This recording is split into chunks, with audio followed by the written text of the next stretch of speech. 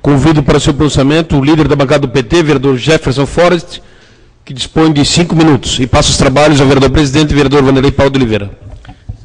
Graças, presidente. Senhor presidente, senhores vereadores, população que nos acompanha no plenário do nosso parlamento e também nos veículos de comunicação da nossa Câmara Municipal.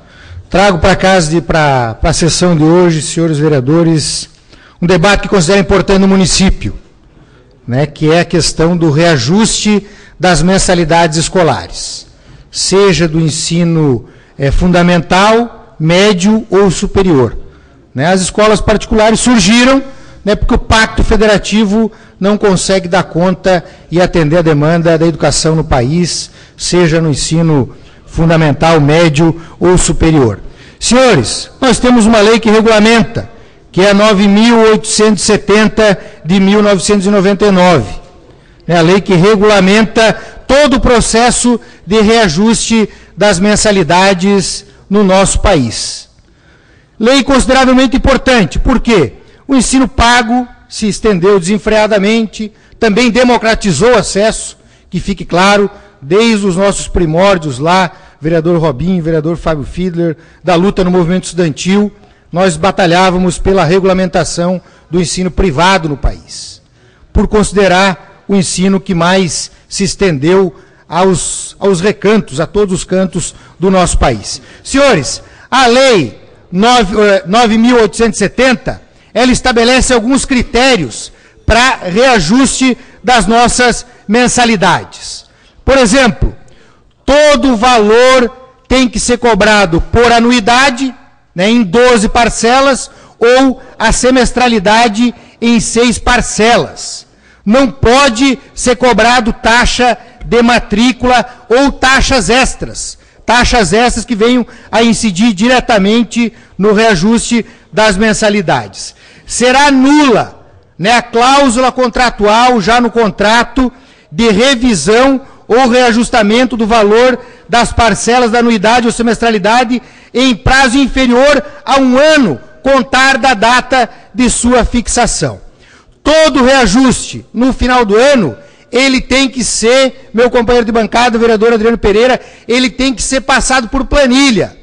Né? Tem que existir planilhas que justifiquem esses reajustes que muitas vezes ultrapassam os índices de preço do nosso país. Muitas vezes ultrapassam os índices de preço do nosso país. E qual é a tarefa, senhores, do poder público municipal em ajudar, em auxiliar para que as escolas do ensino pago não reajuste abusivamente as suas mensalidades? Aí nós temos um órgão lá, que é o PROCON, que o nosso colega César Sim aqui é doutor. Talvez seja a pessoa na nossa cidade que mais conheça sobre o assunto.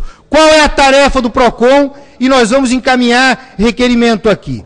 O PROCON tem que solicitar para todas as instituições de ensino pago, seja lá do ensino médio, do, do ensino fundamental ou superior, essas planilhas antes dessas escolas apresentarem a proposta de reajuste de mensalidade.